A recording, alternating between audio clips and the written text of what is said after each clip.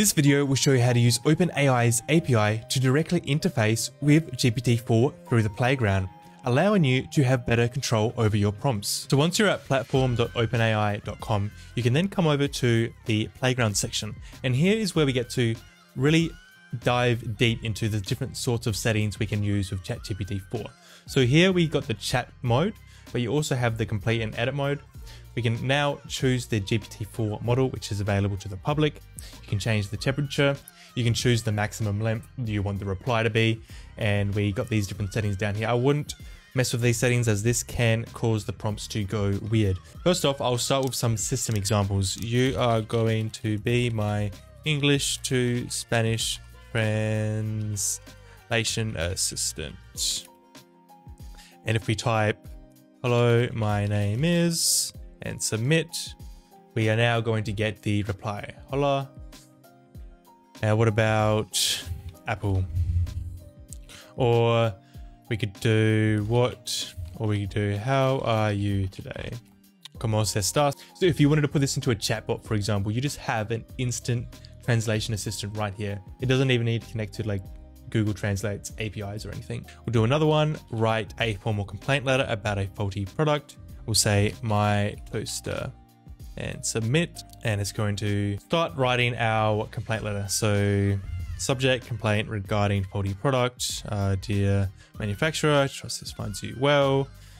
And it's the product I bought from, and you just have to fill in this yourself. So instead of Googling this, you could just do it on here straight away. Or say you implemented this into an API, you could just fill in these fields with variables and you're off to the races. Anyway, let's go on to our next one. You are now my email writing assistant. You are going to write responses in formal email format.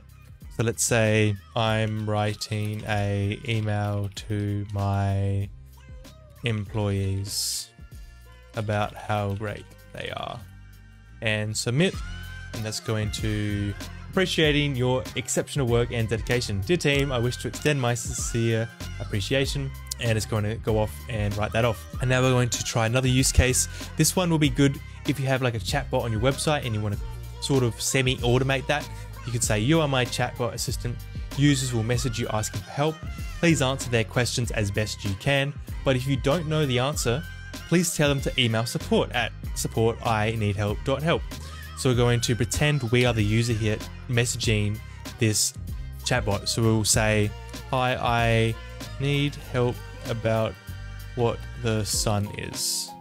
And then the sun is a star at the center of our solar system. It's nearly perfect.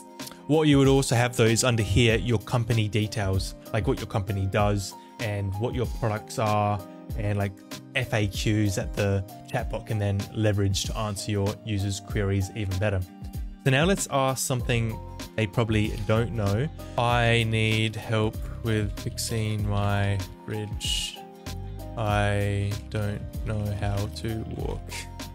Submit. See how I can handle this.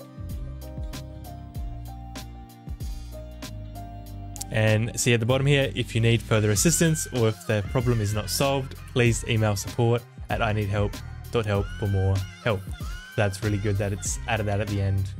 Now to check how much money we use during this session here, we can go up to manage account and usage and then you can see how much we've used. So 10th of July, I mean, look, look at other days I've been using it and I've only used 0.05 cents. So it's very cost effective. But if you are using this for an enterprise application, it will definitely add up, obviously. Thanks for watching. Just a quick demo here. I'll see you next time. Cheers.